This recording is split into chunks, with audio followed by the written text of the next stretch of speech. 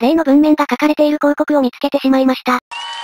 90% people. ちゃんとクリアです。なんとこのゲーム、90%の人はクリアできないみたいですよ。驚きですね。もう驚かねえよ。ダンベルを拾うと、体が大きくなって、ボルダリングできるかと思いきや、どんどん体が小さくなってしまい、登れません。そして踏まれました。なるほど、これならば、90%の人は本当にクリアできないかもしれませんね。そんなわけねえだろ。マッスルレース、レベル1、赤と緑のダンベルが並んでいます。取るべきダンベルは赤だぜ。壁を押すとパワーダウン、またダンベルを拾ってムキムキになっていきます。拾えば拾うほど体がでかくなるぜ。これなら余裕で壁押せますね。ここでダンベルを補給して、次が水泳。これでゴール。ありがんじゃねえか。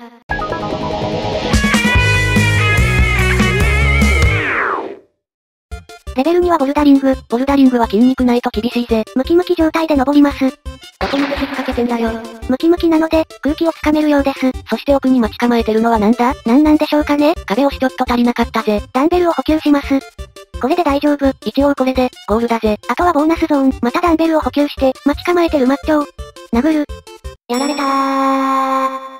レベル4になると3人対戦。ダンベルが拾いにくくなりました。先に抜けると次のとこ赤ダンベルだけになるから、ここはなるべく早くだぜ。奥の人たち、かなりのマッチョだったので、ここでダンベルを蓄えまくって大きくなりますよ。もうかなりのサイズになってきたが、まだまだいけるぜ。これじゃあ二人目すら倒せません。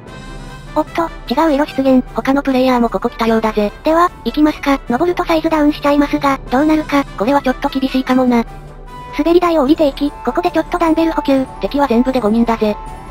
一人目、二人目、三人目、どうのマッチョつえー。レベル9、赤のダンベルを拾っあ体がでかい人にぶつかられると、体内のダンベルが吹き飛ぶぜ。ー。そろそろ次に進めるサイズになってきました。今のは三輪車？そして、YouTube? 奥にお姉さんと巨大ダンベルあるぜ。広告見終わりました。さて、どうなる？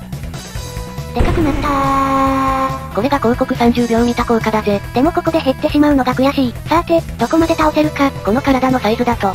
一人目、二人目、3人目、どうのマッチョつえー。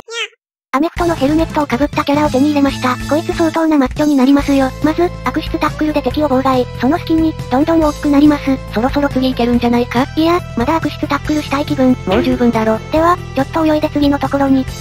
泳ぐの一瞬だったな。でかいですからね。今回は金のマッチョを倒したいので、極限まで大きくなっていきますよ。まだ大きくなるのか。でも、ここの赤ダンベルあらかた拾い尽くしてしまったので、ちょっと泳ぎます。もうそれ泳いだに入らないだろ。このブロック壁は最後1枚を残して破壊。このまま突き進むと銅のマッチョで止まるからな。あとは、限界までダンベルを拾い、最大サイズになるまで待ちます。ダンベルが拾えなくなるまでだな。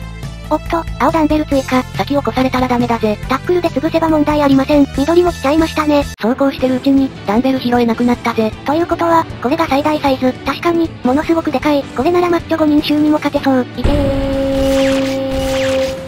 どう超えた。そして金撃破。金マッチョも打ち破ったぞー。最強のマッチョに与えられるのは、札束。金髪のお姉さんが待っていて、中央の玉座に腰掛ける。これが最強のマッチョの証。その左手どうしたんだよ。